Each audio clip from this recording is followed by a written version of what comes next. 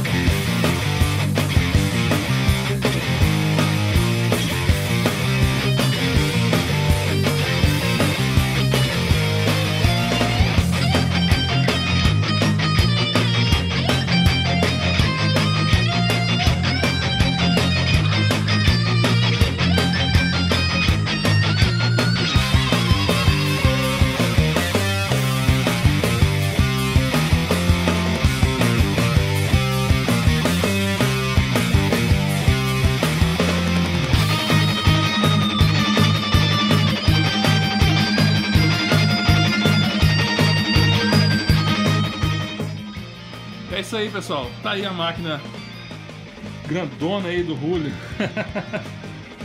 32 polegadas, com ficheiro, coberto em acrílico, alumínio, tudo aí. Os comandos aqui é ótimo, tanto os comandos quanto as micro, quase não faz barulho. E é isso aí.